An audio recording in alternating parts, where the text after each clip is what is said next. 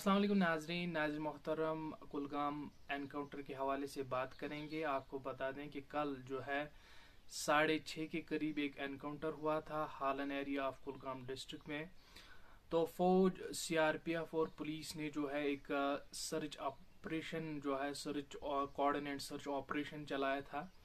तो जो ही वो सस्पेक्टेड सुपार्ट की ओर बढ़े, जो छुपे बैठे मिलिटेंट्स थे, उन्होंने उन पर फायरिंग की और इनिशियल स्टेज में जो है तीन फौजी एहलकार जख्मी हुए थे, बाद में वो जख्मों की ताब न लाकर हलाक हो गए। आपको बता दें कि एक बहुत बड़ा अपडेट जो है, जो कुलगाम एरिया से आ रहा है।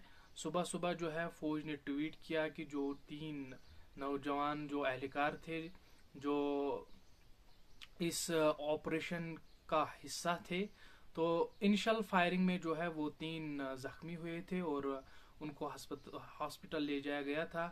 वो जो है जख्मों की ताब न लाकर तीनों जो फौजी एहलकार थे, वो जख्मों की ताब न लाकर जो है वो हलाक हो गए। आपको बता दें कि जो मिलिटेंट्स के साथ कंटेक्ट एस्टेब्लिश हुआ था कल साढ़े छः बजे, वो फिर से जो है लास्ट हो गए, यानी फिर से जो है कंटेक्ट मिलिटेंट्स के साथ नहीं हुआ है और लगातार जो है सर्च ऑपरेशन जारी है।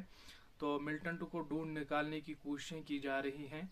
लेकिन सबसे बड़ा जो अपडेट आ रहा है कुलगाम डिस्ट्रिक्ट से, वो यही आ रहा है। एनकाउंटर के हवाले से जो तीन फौजी एहलकार थे, जो जख्मी हुए थे, वो जख्मों की ताब न लाकर जो है तीनों एहलकार हलाक हो गए हैं।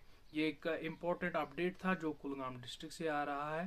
तो जो ही कोई और अपडेट आएगा, हम आपके साथ शेयर करेंगे। तो तब तक के लिए खुदा हाफिज़।